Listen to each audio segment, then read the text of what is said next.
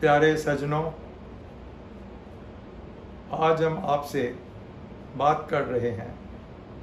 हम डॉक्टर अडवाणी हैं और बॉम्बे में सीनियर मेडिकल ऑन्कोलॉजिस्ट हैं। और जैसा आपने देखा होगा कि कोविड तो बहुत ज़्यादा फैला हुआ है, पर इसका मतलब नहीं है कि दूसरी बीमारी नहीं है। बहुत सारे बीमारियाँ हैं।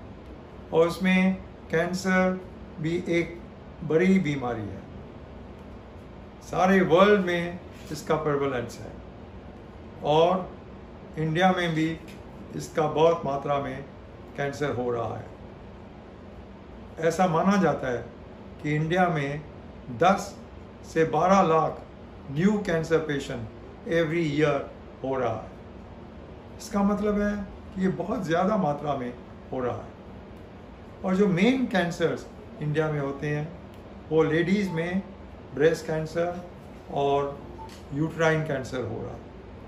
और मेल्स में mouth cancer डायरेंजियल cancer lung cancer और इसोफेजल कैंसर हो रहा है।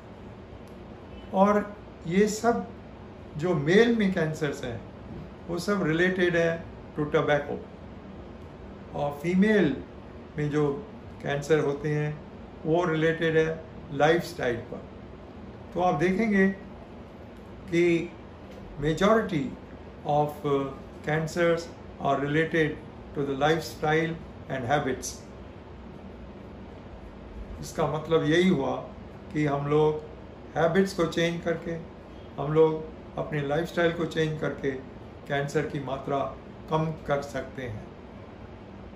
तो एक तो बात है कि हम कैंसर की मात्रा कम करें। और दूसरी जो इंपॉर्टेंट चीज़ है कि हम लोग कैंसर से डरे नहीं। और उसका अर्ली डायग्नोसिस करके क्यूरेटिव इलाज कर कर लें यही इसका आजकल एम्फोसिस है ऑल ओवर द वर्ल्ड कि प्रिवेंट कैंसर को प्रिवेंट करो और दूसरा अर्ली डायग्नोसिस करके हम लोग कैंसर को पूरा निकाल भी सकते हैं।